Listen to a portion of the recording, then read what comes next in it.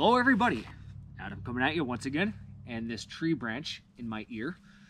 All right, anyway, how you guys doing for 2021, huh? Everything's going fine here. Figured I'd do a quick little video of my new gear for 2021. It's uh not that exciting, as you will see, but it's just a few small things I picked up just to uh, do the backpacker prog progression, I guess you could say.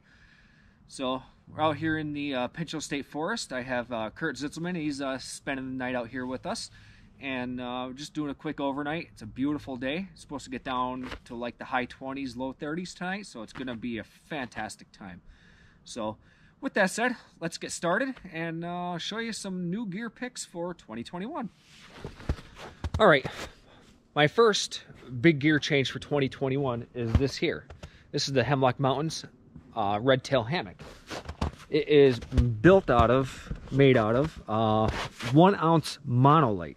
And look it, you can see right through it. This stuff is fantastic. And this is pretty ultra light. The whole hammock setup is now just a hammock with the straps and stuff like that. You're looking at about 14 ounces. Now I did swap out my the stock suspension on it with Warbonnet suspension. Uh, and I saved, it was almost three ounces. So this might be a little bit lighter than what they are stock. But it's a full net hammock that can become netless. If you look, uh, when Kurt built this, he put these uh, line locks up here and you just roll up, it's got it's zippered on either side. So you can roll up the bug net and then have a, a netless hammock.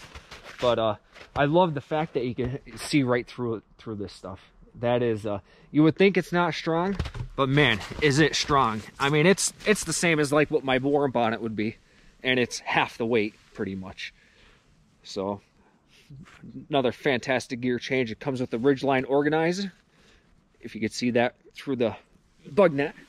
But that's uh fantastic. I love this thing. I slept in it I don't know, probably three nights so far over wintertime. Uh, I ordered this from Kurt back in the fall, and uh, you know, got it and stayed in it, like I said, a couple nights. And so far, it's been a staple in my gear list right now. But uh, one thing I did do also, if you remember on my last hammocks, I always used carabiners on my uh, on my straps.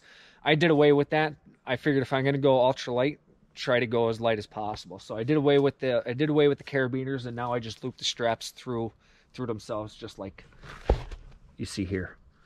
But all right, on to the next item. All right. Well, my number two piece of gear for 2021 is I jumped on the bag bandwagon and I got a Dyneema tarp. Yeah, I know, I'm crazy. And honestly, I'm not real crazy about it. it. It's awesome for ultralight and stuff like that. Me and Kurt were just discussing this.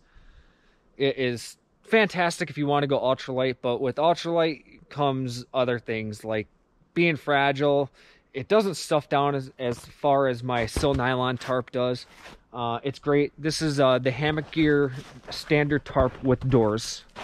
Uh, I have the doors deployed on one side here as you can see. And uh, I mean, the weight savings is awesome. Like this whole thing weighs like eight ounces, if that. And uh, yeah, so this is new for 2021. I don't know how much you're actually going to be seeing it because I really do like my uh, Mama Jamba War Bonnet tarp, my silnylon. This is just real big and bulky, so if I have a lot of bulky stuff in my pack, it's, I don't know. It, I got this more for like winter and stuff like that. And for ultralight, it is lighter than my Warbonnet, but there it is. And if you know, if you didn't notice, yes, it is upside down. And the reason is, is because the way I have the doors tied back, I don't like them flapping in the wind. So I figured if I run the doors tied back on the inside, then I don't have to worry about that flapping as much. And it really doesn't matter which side is up for the weather. But, yep, there you have it. I jumped on the bandwagon, spent the money, and I got a Dyneema tarp. Yay! All right, on to the next thing. All right, now that you saw the hammock and the tarp, we'll go on to a little bit of a smaller, a little bit smaller things. Uh, got here, this is a courtesy of DB Cooper. He got me a, a hang time hook. So I could watch videos in my hammock at night and stuff like that. So, yeah, I'm always finding myself, I'm holding my phone like this. So this is to be pretty nice being able to hang it from the ridge line and uh, put my phone in it and watch and fall asleep. I usually put my earbuds in and uh, listen to stuff and fall asleep so that way I don't have to listen to people snoring.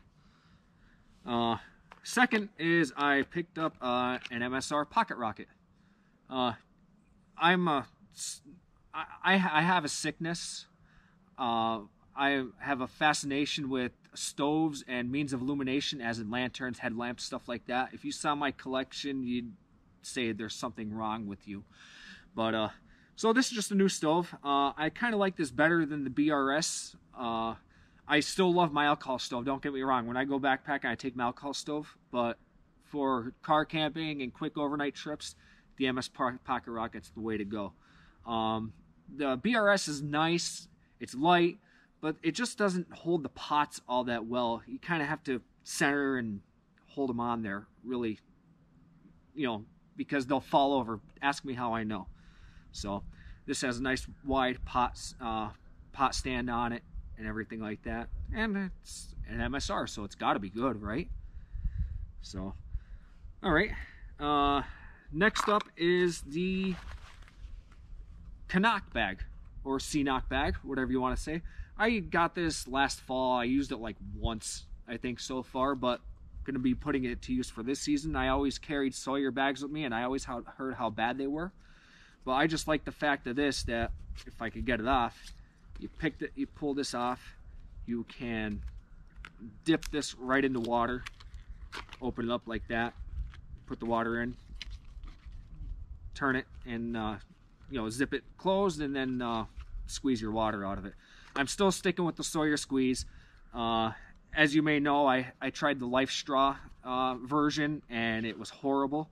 So right back to Sawyer Squeeze and I'm using the, the Canuck bag. And uh, last but not least is this here. This is an authentic Hemlock Mountain Outdoors pouch. Uh, I told Kurt when he would, I said, Kurt, I need a pouch to hold my wallet and my keys, and I need it bright enough so I can see it. This is what he came up with. Fantastic. It's a it's a double layer pouch. It's orange on the outside, yellow on the inside, and you can actually zip it either way, whether you want want it yellow out or orange out. It'll go either way. Fantastic product. Not very much money. I highly suggest you go over to Hemlock Mountain Outdoors and just see what he has. He has all kinds of knickknacks and stuff like that, and uh, some great stuff. Little thing, little things like this make a difference, and you wouldn't believe it, but it really does. So. Oh, well. All right, guys. Well, that was my gear list. Well, not my gear list, but my new stuff for 2021. I'd really like to hear what yours are. Uh, post in the comments, make a video. I always like seeing what new gear is out there. So, with that said, have a great 2021 season and uh, hope to see everyone's trips, and we'll get back to you soon. I'm hoping to go on quite a few myself. I have a few things in the works, but they're not finalized yet. So, with that said, we'll see you next time. Out.